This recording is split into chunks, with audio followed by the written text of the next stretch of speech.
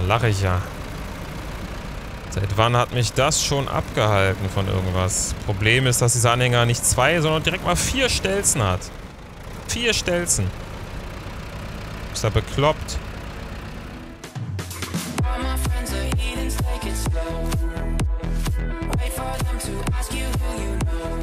Damit wieder hallo und herzlich willkommen zurück zu meinem Let's Play Snowboarder Dorf Truck Simulator auf dem PC Folge 649. Mikrofon sollte wieder laufen, habe ich zumindest im Livestream-Chat äh, gemerkt. Ich hoffe, es war auch nicht in der Aufnahme zu hören. Ich äh, schiebe das jetzt einfach mal auf die Enkodierung für die Livestream-Übertragung. Das sollte also irgendwie passen.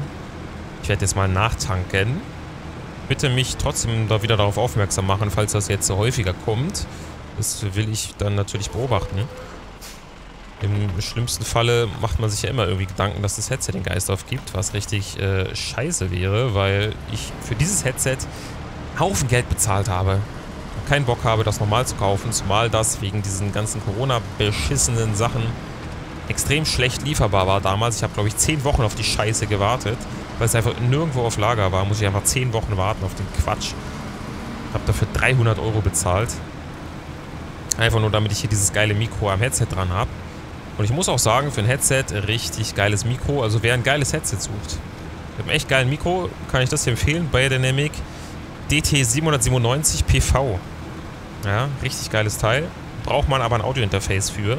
Zum Beispiel ein Focusrite Scarlett. Man muss jetzt nicht das 2i2 nehmen, da reicht auch das kleinere. Man braucht aber mindestens halt 48 Volt Phantomspeisung. Das Mikrofon muss befeuert werden. Aber das gibt es auch bei 30 Euro Mischpuls. Die kriegen das auch hin. Dann klingt es nicht ganz so optimal, aber äh, ja, ist auf jeden Fall besser als so eine komischen Headsets. Diese Gaming-Headsets, die ja auch unter anderem für 100, 150 Euro, ne? Dann zahlst halt vielleicht, dann, dann machst du es lieber gleich einmal richtig. Nee, Moment, ich muss nicht ins Motel. Ich muss äh, zur Querung. Da muss ich einfach nur hier abfahren. Na gut.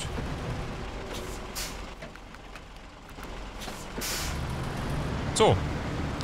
Sehr schön. Na dann. Das ist schon meine vorletzte Aufnahme.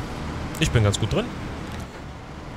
Ja, über näher, aber mache ich nicht. Zeitlich würde ich dann sogar noch eine Formel 1 Folge schaffen, aber in der Praxis lasse ich es vielleicht lieber bleiben, weil ich die Videos, die morgen rauskommen, noch schneiden muss, weil ich die ja erst heute aufgenommen habe, beziehungsweise die Formel 1 Folge, die ich nach dieser Folge aufnehme, ist die Formel 1 Folge, die morgen schon auf YouTube kommt, um 12 Uhr. Das heißt, ich muss, nachdem ich die Folge aufgenommen habe, heute noch schneiden, rendern, hochladen, einstellen, damit sie morgen um 12 Uhr raus ist. Das bedeutet, das mache ich dann direkt nach dieser Aufnahme, dann bin ich nämlich fertig. Ähm, ja, ich muss noch drei Videos schneiden heute, na gut, es geht. Ich habe bereits aber heute acht, glaube ich acht, eins, zwei, drei, vier, fünf, ja acht Videos habe ich heute geschnitten, geil. Also produktiv bin ich doch schon gewesen. Schaffst aber auch nur in der Woche. Äh, am Wochenende. Schaffst du nicht in der Woche. Also acht Videos schneiden, plus noch so viel aufnehmen, absolut unmachbar in einer Woche. Das geht nur am Wochenende und dann auch nur an Tagen, wo man dann wirklich auch zu Hause sitzt. Zum Beispiel so wie heute. Gestern war halt super, wir haben einen Kumpel getroffen, aber heute war dann auch mal ein bisschen Zeit für mich. Ist auch, ist auch schön. Manchmal ist es auch echt schön. Auf Dauer ist es ein bisschen öde, muss ich sagen, immer nur alleine rumzusitzen. Deswegen ab und zu mal mit Treffen aufstocken, den Krams. Und dann hast du auf jeden Fall... Ah, die Ruckler fangen an, ne? Wunderbar. Ich hoffe, die bleiben jetzt nicht zu lange. Dann verschwinden sie jetzt schnell wieder. Ansonsten bin ich froh, dass es die letzte Folge ist. Oh.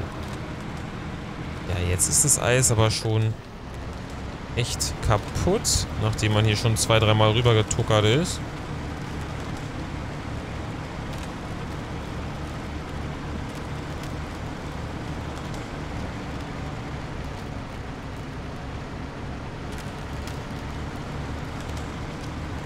Hä, was siehst du immer? Sehe ich immer, weil dann im Discord steht, nicht stören und hört Spotify zu.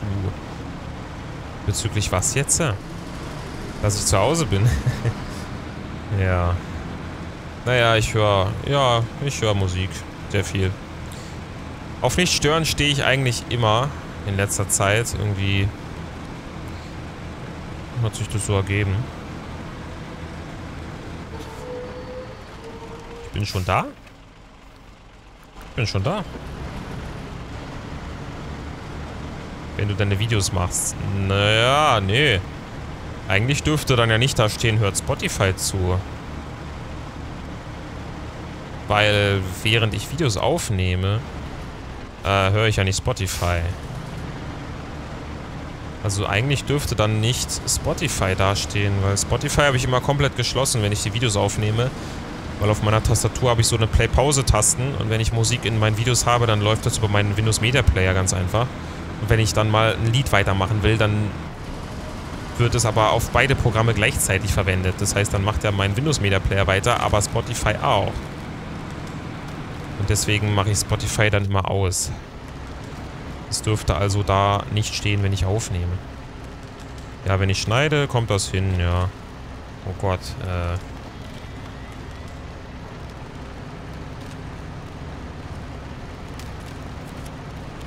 Okay, gut. Wir haben wenigstens eine Winde.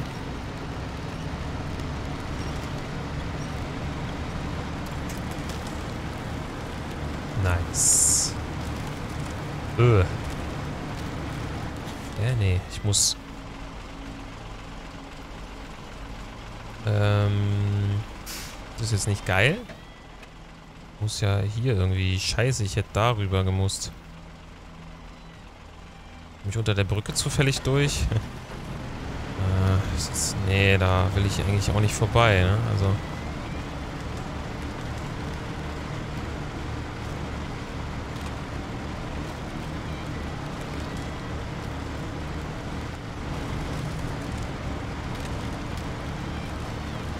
Ja gut, okay, ich kann ja auch da einfach auf die andere Seite. Gar kein Ding. Ja, machen wir es halt so und dann kann ich über die Brücke zurückfahren. Easy. Tralala, tralala. Ja, ich... Naja, nochmal, um darauf zurückzukommen jetzt. Äh.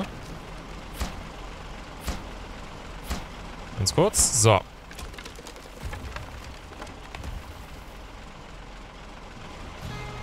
Großartig, diese Querung wird nicht nur uns, sondern auch vielen Anwohnern dienen. Du verdienst eine Belohnung, 670 Erfahrungen, 8050 Belohnungen. Ja, echt viel, cool.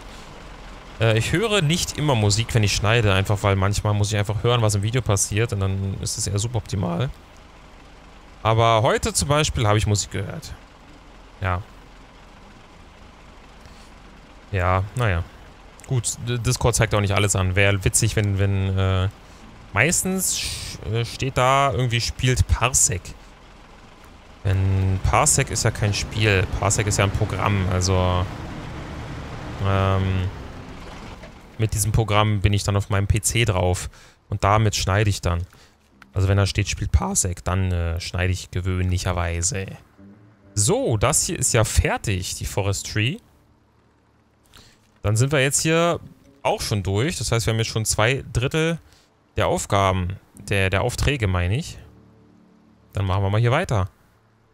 Ich brauche einen Scout. Ein geländegängiger Scout-Anhänger. Den muss ich äh, transportieren.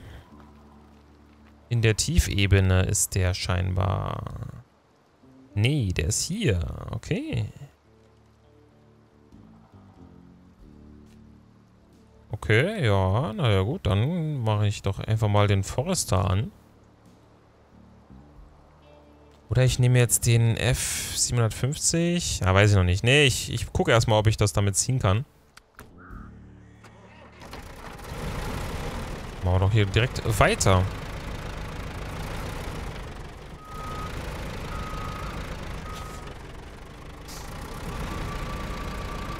So. Ja, schneiden gehört halt auch dazu, ne? Genauso wie du fast jeden Tag aufnimmst, musst du halt auch jeden Tag schneiden. Wenn du Videos machst, dann ist es so. Wenn ich nur streamen würde, oh, gar kein Ding. Aber irgendwie, nee. Ich habe ja mit Videos ursprünglich angefangen und dabei soll es auch bleiben. Und das Streamen ist dann so eine Nebensache. Ich meine, es macht, es macht echt Spaß. Auch während des Spiels dann Tipps zu bekommen oder einfach mal über andere Sachen zu labern, wie die Formel 1 gerade zum Beispiel. Finde ich mega geil und das ist auch der Grund, wieso ich das weitermache. Und wenn dann mal kein Zuschauer da ist, dann ist es halt so. Aber dann ist es ja trotzdem hier und mache Aufnahmen dann für YouTube. Und da sehen es dann trotzdem wieder ein paar Leute. Also, ja, im Prinzip, das Streaming ist eine, ist eine nette Nebensache, die ich auch gerne weitermache. Dementsprechend, ja. Trotzdem dann mega cool für jeden, der äh, dann trotzdem auch im Stream dabei ist. Ne? Finde ich cool.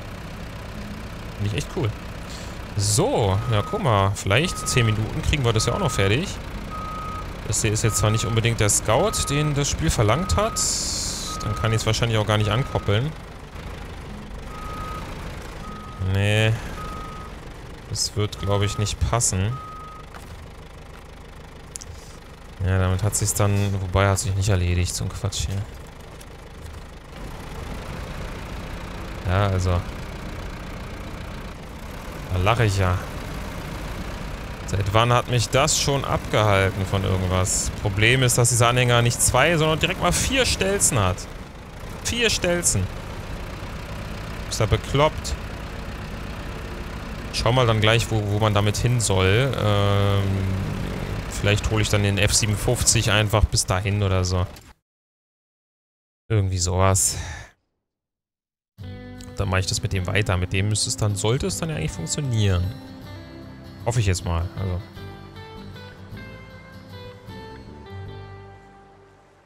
Wo soll ich denn hin, bitte? Wahrscheinlich ganz genau andere Ende, oder? Ah, nee. Naja, okay, gut. Direkt an die Werkstatt, also. Ist schon eine Strecke. Äh, da fahre ich am besten. Ja, dann, ja, dann mache ich es mit dem jetzt. Also, was soll ich jetzt mir hier extra... Das ist ja Blödsinn jetzt hier.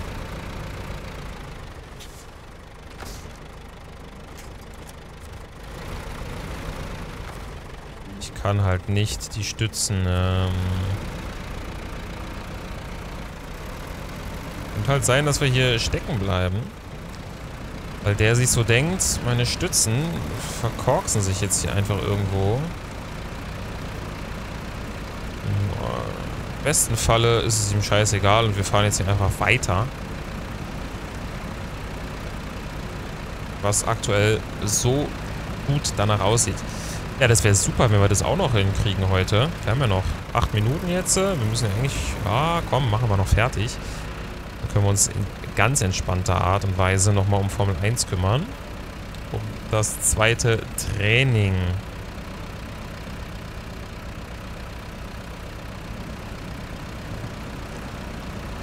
Endlich dann mal beim Trocknen. Letztes Mal hatten wir Mischbedingungen, also Diesmal werde ich dann natürlich mit Softreifen dann gleich fahren. Und dann mal schauen. Wir waren sehr weit vorne im ersten Training, aber auch nur aus dem Grund, weil äh, irgendwann es dann geregnet hat und man dann natürlich die Rundenzeit nicht mehr hinbekommt. Aber wer weiß, Top 10 wäre natürlich ein Wunschtraum mit diesem schlechten Auto, wenn wir das schaffen würden. Aber ich, äh, die Strecke ist schwierig und äh, alle Strecken, natürlich, alle Strecken sind schwierig. Aber ich habe bei Russland auch im ersten Training schon das Gefühl gehabt, dass ich ein bisschen besser mit klargekommen bin. Hoffe einfach, dass wir das an der Platzierung sehen können.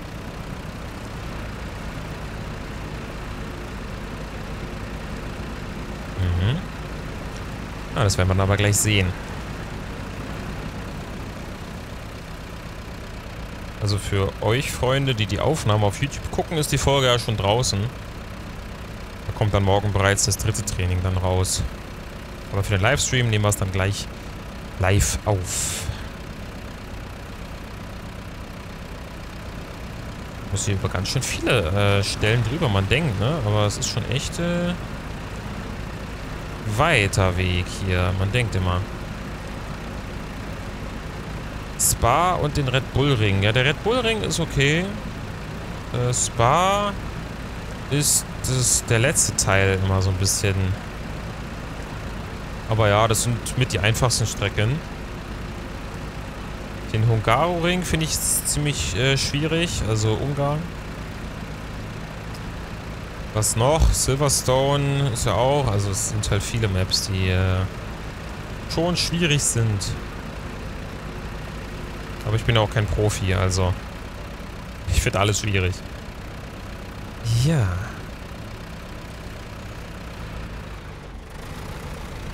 Genau, sowas ist halt kritisch mit den Stelzen, so Höhenunterschiede, weil die dann aufsitzen. Und du dann eben mal ganz schnell äh, abprallst.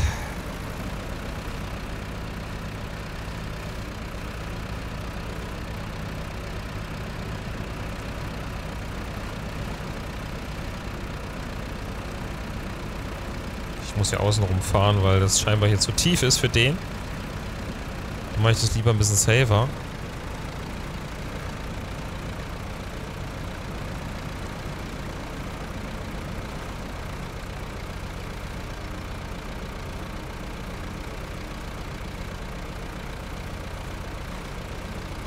Dann machen wir diesen kleinen Auftrag hier.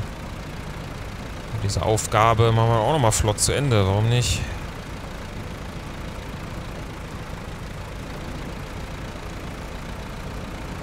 Schauen wir mal die Fahrhilfen an, die wir hier haben. Und da sind wir doch dabei.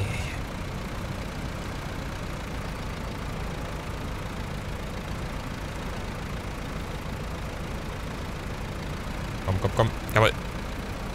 Da ist er doch drin. Sagst du, wie es ist?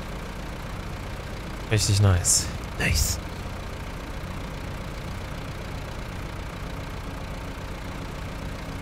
Bum, bum, bum, bum. Bum, bum, bum, bum. Jo, da sehen wir ja schon das Ende. Wir haben noch, oh, guck mal, oh, sogar pünktlich. Ich darf hier Diff nicht nutzen. Please. Hey, mit den Höhenunterschieden schwierig. Ich weiß gar nicht, ob das da abfallen kann. Ich glaube nicht.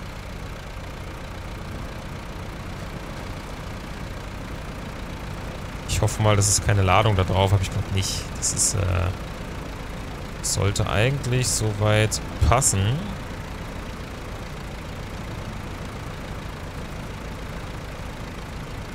Das ist nochmal die schwierigste Stelle und danach sollte man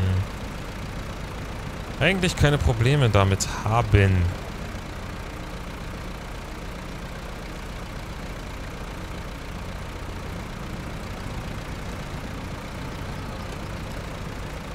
Wird schon wieder dunkel und diesmal lasse ich es durchlaufen.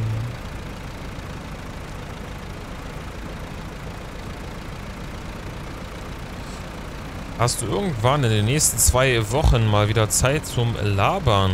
Weil hab ja jetzt Ferien, wie du weißt. Ja, ich denke mal, es würde sich einrichten lassen. Weiß noch nicht ganz genau wann, äh, aber ja. Ich würde mal aller spätestens nächstes Wochenende sagen. Ja. Das sollte eigentlich hinkommen. Ja. Warum nicht? Warum nicht?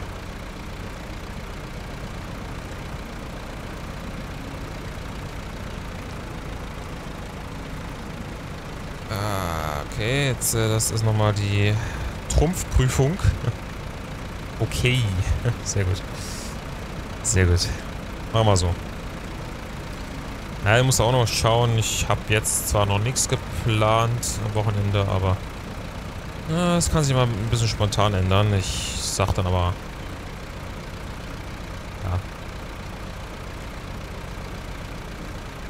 Zur Not einfach mal anschreiben. Abends rum immer. Dann kann ich immer ein bisschen spontaner entscheiden, ob ich dann gerade die Kapazität habe oder nicht. Schwankt ja immer von Tag zu Tag.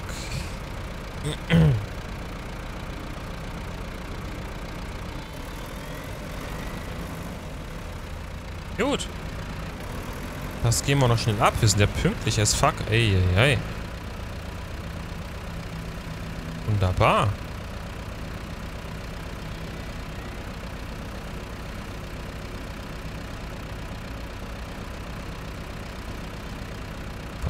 Rum. Dann geben wir das auf ganz entspannt mal ab. Damit habe ich jetzt zwar den Forester erstmal wieder hier weggenommen, aber ist jetzt schneller, als wenn ich jetzt erstmal wieder den Ford hätte mobilisiert.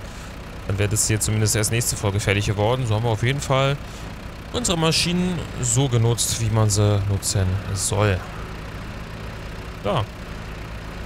Erkennst du das? Jawohl, gute Arbeit. Es ist fast geschafft.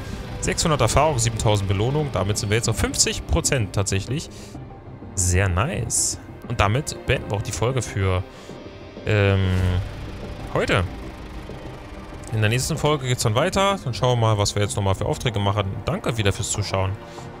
Tschüss und bis zum nächsten Mal.